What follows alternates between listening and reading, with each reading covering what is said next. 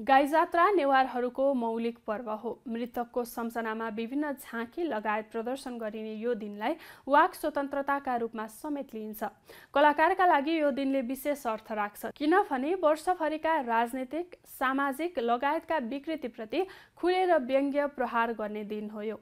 त्यसैले यस दिनलाई व्यङ्ग्य कलाकारको पर्व समेत भन्ने गरिन्छ। त्यसो त नेपालमा हरेक समय गाई जात्रा छ। तर पनि वर्षमा एक दिन पर्ने गाई जात्रा पर्वले विशेष महत्त्व राख्छ।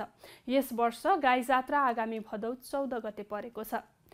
गाई जात्रा आउन अझै दुई साता बढी बाँकी भए पनि हाम्रा कमेडी कलाकारलाई भने गाई जात्राको रौनकले छोइसकेको छ।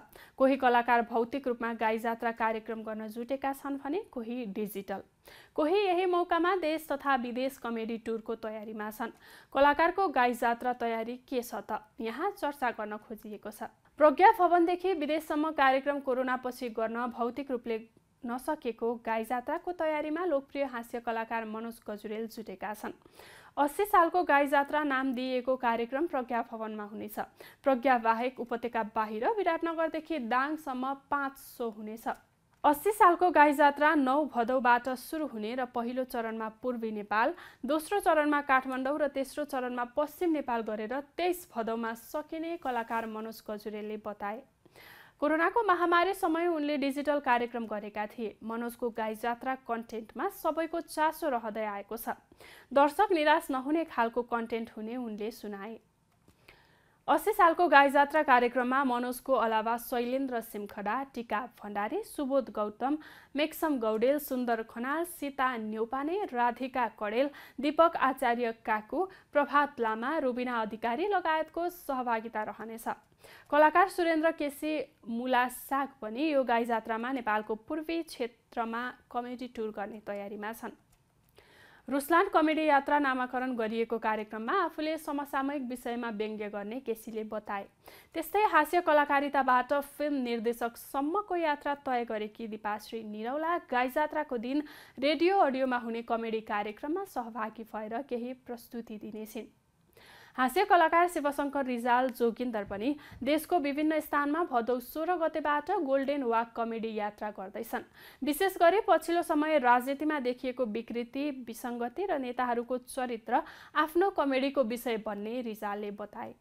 रिजालको यो टुरमा कलाकार जितु नेपाल निरज नेपाल गायिका मिलन नेवार लगायत सहभागी हुँदैछन्। रिजालले केही अगाडि गाई जात्रा एल्बम लुछा चुडी पनि सार्वजनिक गरेका छन्। हास्य कलाकार पल्पसाद डङ्गोल चम्सुरी यो गाई जात्रामा युरोपका करिब दर्जन सहरमा कमेडी प्रस्तुति दिँदैछन्। यसका लागि केही दिन अगाडि युरोप उडेकी उनलाई कलाकार दमन रूपा खेतीले साथ दिँदैछन्। हास्य धमाका नाम दिइएको कार्यक्रम करिब दर्जन बढी स्थानमा उन्नाइस अगस्तबाट सुरु हुनेछ। त्यस्तै कलाकार सुबोध गौतम अस्सी सालको गाई जात्रा कार्यक्रममा आफ्नो प्रस्तुति दिने तयारीमा छन्। उनको टिमले एपी वान टेलिभिजनमा डिजिटल गाई जात्रा पनि देखाउनेछ। त्यस्तै कमेडी च्याम्पियन विजेता हिमेश पन्त पनि कमेडी कार्यक्रम गर्ने तयारीमा छन्। उसो गाई जात्रा कार्यक्रम भन्ने बित्तिकै दर्शकलाई प्रज्ञा भवन र शोभागृहको याद आउँछ। एक समय यी दुई स्थानमा थुप्रै हास्य कलाकार गाई जात्रा कार्यक्रम मार्फत पेट मिची मिची दर्शक हँसाउँथे। गाई जात्रा आउनु केही दिन अगावै सुरु हुने यस्ता कार्यक्रम महिना दिनसम्म चल्थ्यो।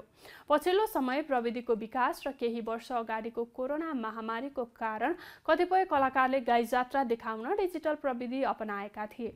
यस वर्ष पनि कतिपय कलाकार गाई जात्रा कार्यक्रम डिजिटल मार्फत ल्याउँदैछन्। कमेडीमा बेग्लै छाप छोड्न सफल कलाकार शैलेन्द्र सिमखडा पनि केही वर्षदेखि आफ्नो गाई जात्रा कमेडी युट्युब मार्फत ल्याउने गरेका छन्। यो वर्ष पनि उनी युट्युबमा केही विशेष प्रस्तुति ल्याउने दर्खरमा छन्। विगतका भन्दा उत्कृष्ट र फरक प्रस्तुति दर्शकका लागि दिने आफ्नो तयारी रहेको सिमखडाले बताए। भौतिक रूपमा गरेको गाई जात्रा जस्तो अभिनयमा निखार नआए पनि दर्शक भने डिजिटल गाई जात्रामै बढी हुने सिमखडा बताउँछन्। त्यसो त सिमखडा भौतिक रूपमा आयोजना हुने अस्सी सालको गाई जात्रा कार्यक्रममा पनि सहभागी हुँदैछन्। हास्य कलाकार जितु नेपाल पनि गाई जात्रा कमेडी डिजिटलमा ल्याउँदैछन्। उनले सात भाग मार्फत सात दिन फरक फरक गाई जात्रा कमेडी डिजिटल प्लेटफर्ममा ल्याउन लागेका हुन्। अहिलेसम्म टेलिभिजन फाइनल नभएकाले आफ्नो कमेडी युट्युबबाट ल्याउने जितुले खुलाए। डिजिटल गाई जात्राको अलावा उनी रुसलान कमेडी यात्रामा कलाकार सुरेन्द्र केसीको टिममा पनि छन्। त्यस्तै कलाकार दिनेश काफले पनि गाई जात्रा कमेडी डिजिटल मार्फत ल्याउने तयारीमा छन्। यो पटक केपी ओली डाक्टर बाबुराम भट्टराई र प्रचण्डको क्यारिकेचर गरेर गाई जात्रा कमेडी तयार गर्न लागेको काफ्ले बताए। गाई जात्रा कार्यक्रम भन्ने बित्तिकै दर्शक कलाकार मदन कृष्ण श्रेष्ठ हरिवंश आचार्य मनोज गजुरेल शैलेन्द्र सिमखडा सन्तोष पन्त किरण केसी राजाराम पौडेल दीपक राजगिरी दिपाश्री निरौला लगायत सम्झन्छन् किनभने यी कलाकारले गाई जात्रा कार्यक्रम मार्फत धेरै वर्ष नियमित रूपमा दर्शक हँसाएका छन्। जसको छाप दर्शकमा अहिले पनि छ। तर मनोज र शैलेन्द्र बाहेक माथि चर्चा गरिएका अन्य कुनै पनि कलाकारको यो वर्ष गाई जात्रा कार्यक्रम छैन।